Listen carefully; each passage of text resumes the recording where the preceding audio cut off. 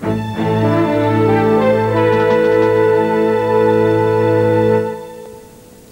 in Anglia, our new series about the Christian soldiers marching as to war.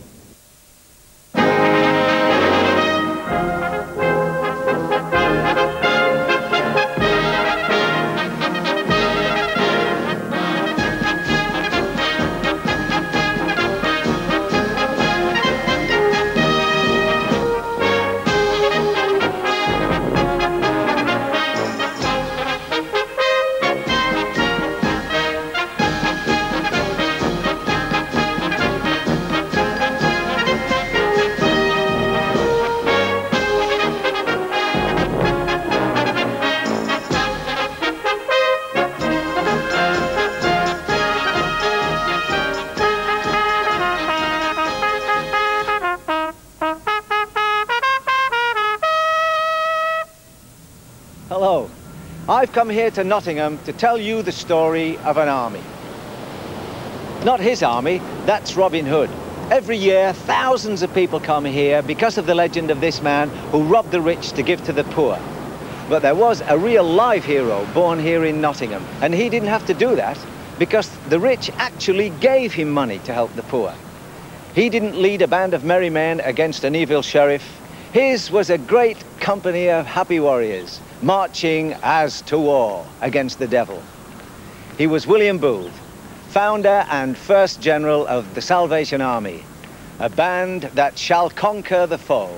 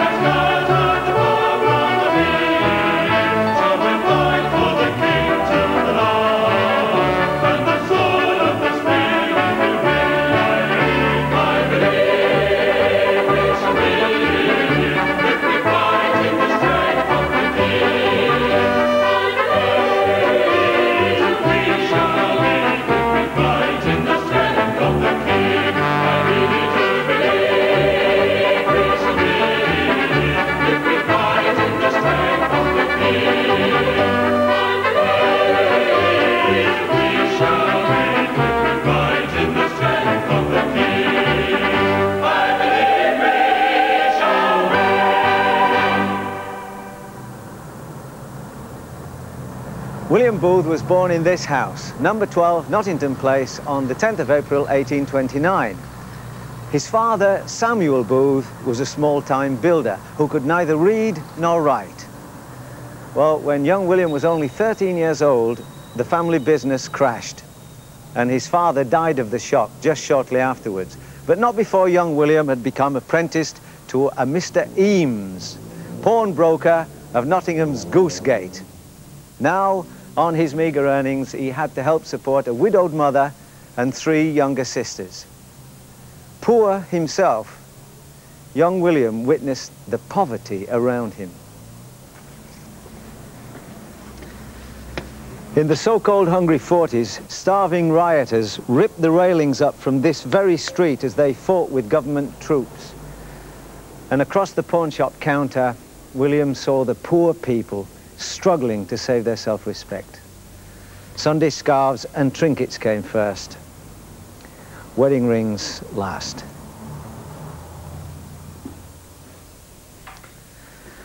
The Booth household was not particularly religious. William described his father as a grab and get merchant, more interested in money than God. But God was very real to young William and had to be obeyed. Like his boyhood hero, John Wesley, the founder of Methodism, he believed that God loved the poor. Now, when Wesley found that the mass of poor were not in the churches, he'd stormed the country in a remarkable series of outdoor preaching campaigns to bring them in and help save their souls.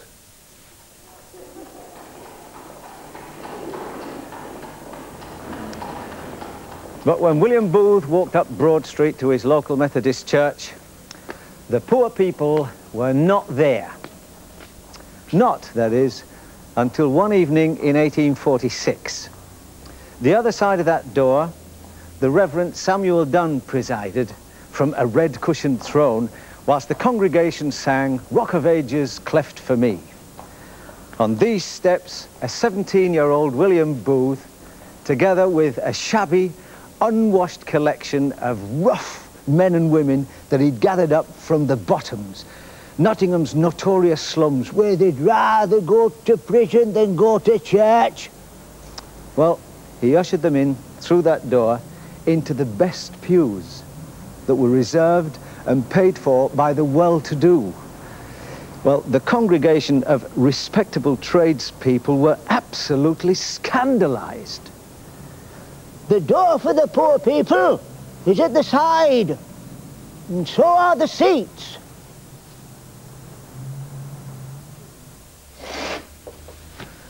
Broad Street Chapel is now a co-op centre, but a plaque still commemorates William Booth's early witness that if there is no class distinction in heaven, there can be none in the church on earth. Any poor sinner can come to Jesus.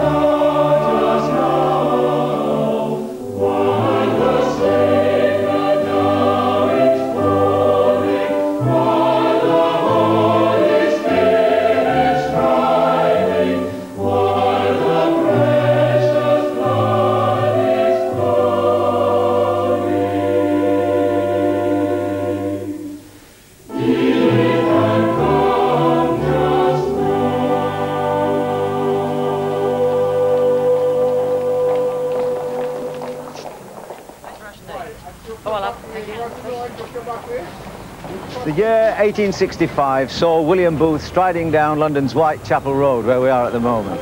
He'd become a Methodist minister in order to help the poor, as he had done in Nottingham. But when the Methodist Church again cramped Booth's style, he resigned.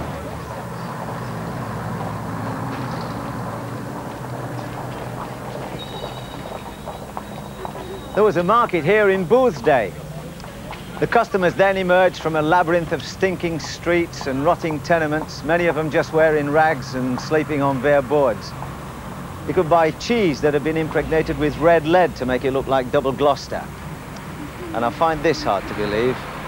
You could buy a goldfinch in a cage that had had its eyes pricked and blinded to make it sing more sweetly. Over behind the London hospital, the Thames was nothing more than a large open sewer. And when the cholera struck, the hospital couldn't even start to cope with the dying. For half a million people, drink seemed the only escape from squalor and degradation. Every fifth shop was a gin shop, and children as young as five years old died from cirrhosis of the liver, that's alcohol poisoning. Men crazed with drink fought one another, urged on by screaming women. What chance was there for people who had to live like this? and yet some had an answer. Here, outside the Blind Beggar Public House, Booth came across a group of street evangelists. He stopped to listen. Something about him caught their attention. He was, after all, quite an imposing figure. He stood over six feet tall, had a smart black beard and strong dark eyes. The leader asked Booth if he would um, like to have a word. As Booth began to speak, passers-by stopped in their tracks, and pretty soon a crowd had gathered. Here was a preacher with a difference. He could talk about God using everyday terms that anybody could understand. Well, for the missioners, this was an answer to prayer.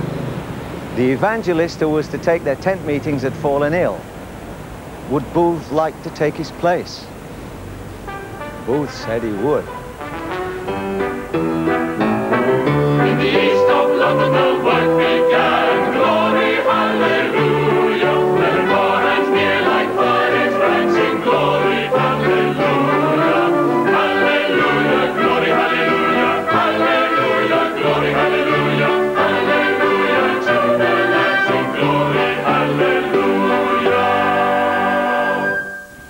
The missioners sited their tent here, which is now a children's playground in Vallance Road.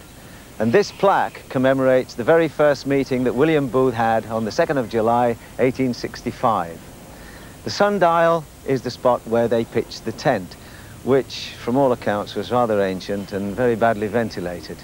It was lit by a naphtha lamp, which hissed and swung above the heads of the working-class congregation as they crowded in on the rough wooden seats, night after night, to hear William Booth tell them how God could change their lives and give them hope.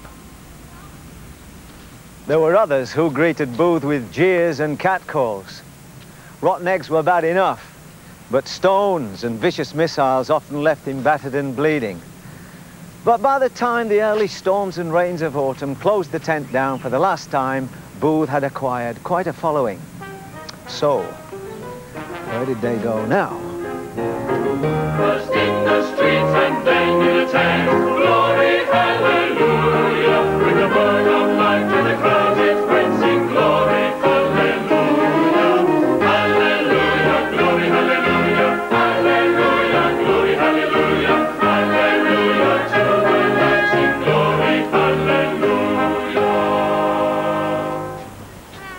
Along here in New Road, a certain Professor Orson had got a dancing academy. Booth hired it for a guinea a Sunday.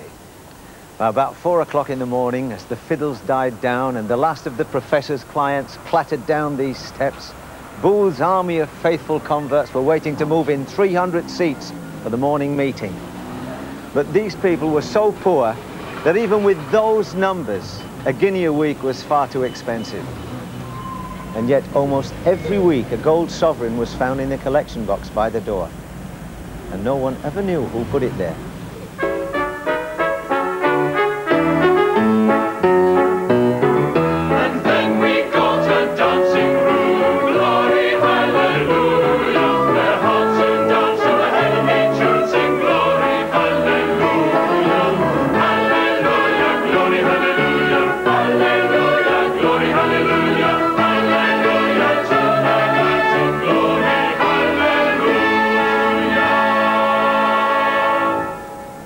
Understood the East Enders' reluctance to enter an unfamiliar church or chapel, but there was one place he knew of, besides the pub, where they felt totally at home. This wall is all that's left of the old Effingham Theatre on Whitechapel Road. In its day, one of the great Victorian music halls. They turn up there, all right.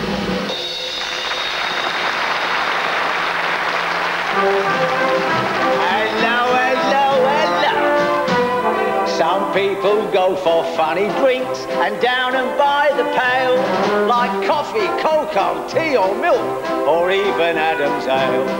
For my part, you can keep the lot. I never would complain. I never touch the blooming stuff. I only drink champagne. Oh, Champagne Charlie is me name. Champagne drinking is game. There's no drink as good as fizz, fizz, fizz. I'll drink every drop there is, is, is. All round town it is the same. By pop, pop, pop, I rose to fame. I'm the idol of the barmaids. Champagne Charlie's me name.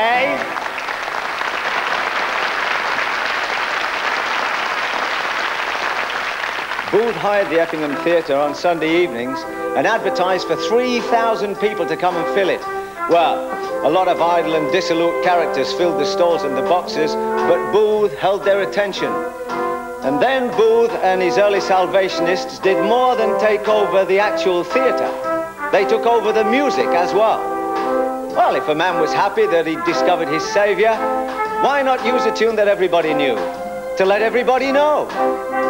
So Champagne Charlie became this. Bless his name, he sets me free. Bless his name, he sets me free. Oh, the blood, the precious blood. I'm trusting in the cleansing flood. Bless his name, he sets me free. Bless his name, he sets me free. The past is washed away, and now in Jesus I am free. In Jesus I am free, I'm free. Over 80 music hall songs acquired religious lyrics, and Booth wasn't too sure about this approach. And he didn't finally make up his mind until he heard that song sung in a Worcester music hall by a chap called George Sailor Fielder. He was a converted sea captain. That's a very nice song, said Booth. What tune is it? Well, knowing of Booth's horror of drink and the consequences, of course, the answer was somewhat shamefaced and just a little bit nervous.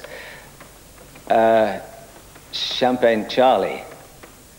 Booth listened to the crescendo of happy voices singing. That does it, he cried. Why should the devil have all the best tunes?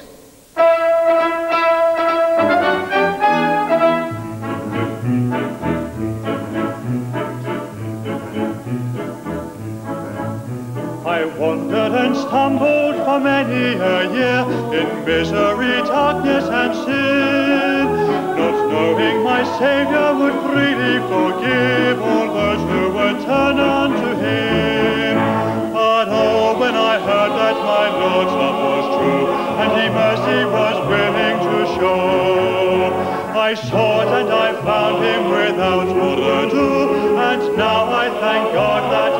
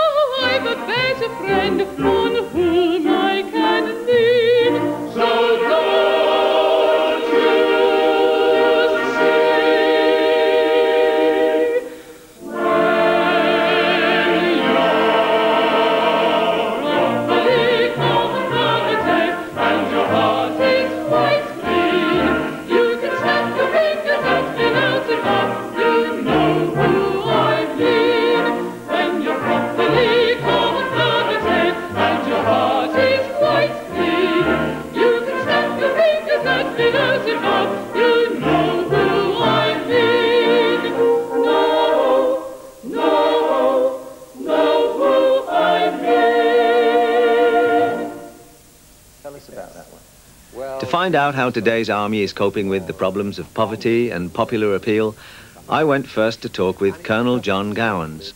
Does the army still care for the poor people as it used to, or has it become a little bit more respectable these days? Well, I don't know about respectable, but we're getting a bit more sophisticated. That's true. Many of our social institutions have highly qualified social workers with their diplomas all over the wall, and we tend to get, in that sense, a little further away from the really poor people. But it's not true entirely. I mean, I spent five years in California, and we dole out the soup every night in Los Angeles, and I'm back in Paris, and we do the same thing here. And each winter, hundreds and hundreds of street people are housed in our temporary shelters in a very superficial way, but uh, it's something uh, that we can do for the poor. That still happens 120 odd years after William Booth started it all. I've been to a few Christian festivals where they feature pop music like Greenbelt and Spring Harvest, where 20,000 young Christians all turn up and they have a whale of a time with the music of today. Now, how does the army feel about that? Well, I like the idea of 20,000 Christians getting together, but I rather like more the idea of 20,000 Christians getting out there, uh, telling what they've got to tell and saying what they've got to say. And uh, to that extent, it appeals to the army. We used to have uh, quite a, a well-known rhythm group. Perhaps you've even heard about it. I don't know if you're old enough, really. It was uh, begun by Major Joy Webb of the Army, called the Joy Strings. Oh, it must be 30-something years ago. But that was a breakthrough. The Army began then to uh, to use popular music uh, in, a, in a really effective way, and Major Webb did a fantastic job. Mm. Even got into the charts with some of her stuff, which took some doing in those days. You know.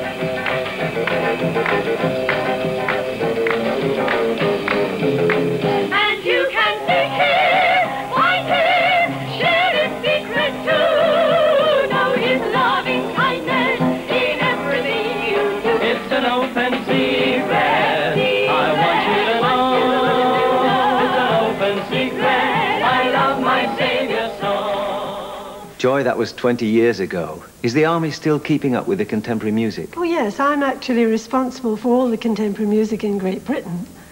Uh, and what sort of stuff are they all playing? Oh, they're proper rock groups, you know. Some play folk, of course, and we've got one or two that are uh, attempting heavy metal. Yes. And, and, what do you think of them? How are they doing? Oh, they do ever so well, really. Mm. Um, varying standards, but they do very well. And you yourself now, what are you up to? Well, uh, I, as I say, I'm the Officer for Contemporary Music, but I also have drama under my wing as well. And just at the present moment, we're busy getting together uh, an arts centre at Marylebone. We're taking one of the old Salvation Army halls over, making it into a studio theatre, and we're hoping to teach people how to perform and to enhance the gospel using the art forms. In the earlier days, of course, uh, parodying popular songs was allowed, but that's not allowed anymore because of copyright. So how do you get around that one? Oh, it's true that we can't uh, adapt the, the, popular song of today because there are copyright laws. So now we have to write our own, and we haven't got the skill, I suppose, to write exactly what we want, but at least we try. And one of the things that we've been trying in recent years is uh, to use the medium of the musical. Uh, it seems an odd thing for the Salvation Army to produce musicals, and yet it's not so odd when you think about it. The Army began in the music hall, so it's quite natural, really, that the Army should still use uh, music as a way of uh, getting its message across. Well, and so used the Army, didn't it? Guys and Dolls. Uh, yeah, in fact, Guys and Dolls was responsible, really. Oh, it's nearly 20 years ago. The the Army started to think about musicals and said, well, why can't we write something of our own along the lines of Guys and Dolls? Well, we hadn't got a Marlon Brando, of course. There was only uh, ourselves.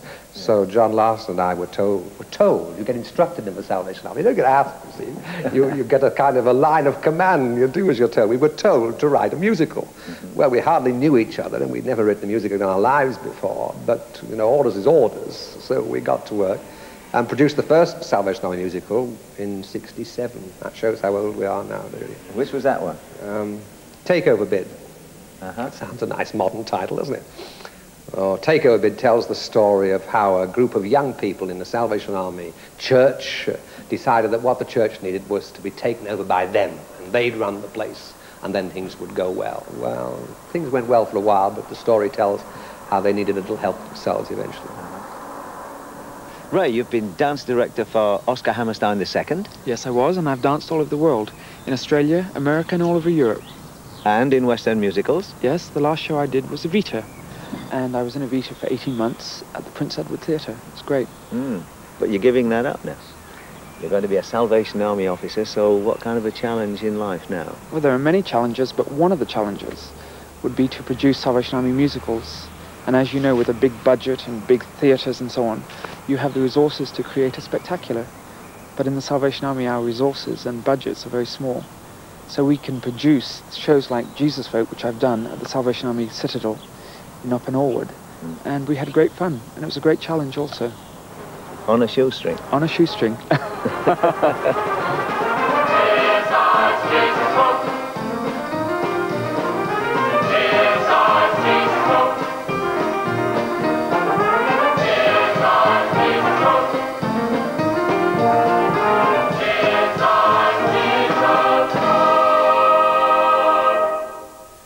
Jesus folk? Some kind of a joke? Who on earth are the Jesus folk?